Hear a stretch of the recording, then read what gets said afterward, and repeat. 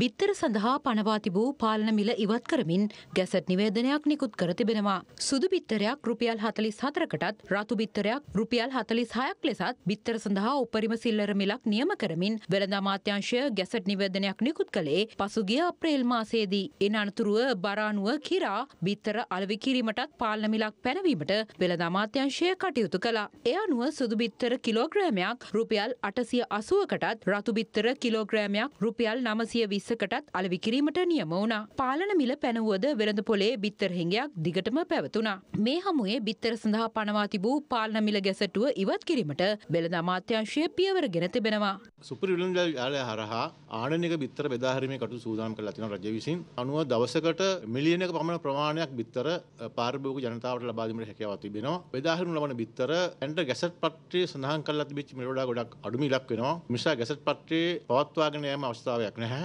මෙම තත්ත්වය ශ්‍රී ලංකාවේ බිත්තර නිෂ්පාදනය ප්‍රමාණවත් තරම් ඉල්ලීමට සරිලන තරම් නිෂ්පාදනය වනතුරු පවත්වාගෙන යන්න රජය කටයුතු කරනවා. බිත්තර සංගම් එහෙම කියන්නේ මේ කුරුළු උණ එනවා සහ නොයෙකුත් ලෙඩ රෝගත් පැතිරෙනවායි කියලා මේ හරහා. ආනයනික බිත්තර වෙළඳපොළ නිකුත් කිරීම ආරම්භ වුණේ පසුගිය මාර්තු මාසයේ ඉඳලා. තාම කුරුළු උණ හෝ ඒ ආශ්‍රිත වෙනත් රෝගයක් බෝ වුණා කියලා හෝ එමන දෙයකට අවකාශයක් තිබුණා කියලා හෝ අපිට ආරංචියක් ලැබිලා නැහැ. සෞඛ්‍ය දෙපාර්තමේන්තුවත් ඒ සම්බන්ධයෙන් කිසිම ප්‍රකාශයක් කළත් නැහැ. නිසා ඒ සම්බන්ධයෙන් අනිත බියක් ඇති කරගෙන අවශ්‍ය වෙන්නේ නැහැ. ගැසට් එක ඉවත් කරක හොඳයි. දැන් හෙට ඉඳලා බෙද පොළ තුල බිත්තර තියෙන්න ඕන. එදා කජුවට කොස්සට ගන්නට බිත්තර දෙවුණා. ඒ බිත්තර නිෂ්පාදනය මොකද වුනේ? මේ නිලධාරි හොයා බැලුවද? විශේෂ ඇමතුරු හොයා බැලුවද? එකපාරටම හිගයක් ඇතුනේ කොහොමද කියන එක හෙව්වද මේගොල්ලෝ? ඇත්ත කතාව. මේ හැම දෙයක්ම ආනයන කරලා ෂොට් එක දෙන්න හදන. අපේ තියෙන නිෂ්පාදන ආර්ථිකය විනාශ කරන්නේ. මේක තනිකර කොමිස් මත ගහන්නද කේම් එකක්. මේ අතර ඉන්දියාවේ සිට ආනයනය කළ බිත්තර සතුස සහ සුපිරි වෙළඳ සැල්වල අලවි කිරීමට ඊයේ සිට පියවර ගත්තා. ඒ අනුව අද සිට ඉන්දිය බිත්තර සතුස සහ සුපිරි වෙළඳ සැල්වලින් ලබා ගැනීමට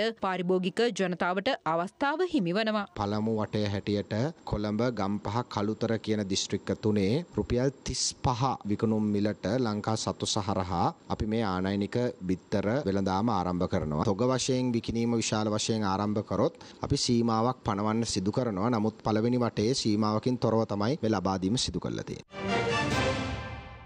රටේ ලෝකෙ සිදුවන උණුසුම් පුවත් දැනගන්න සියත නිවුස් YouTube channel එක අදම subscribe කරන්න.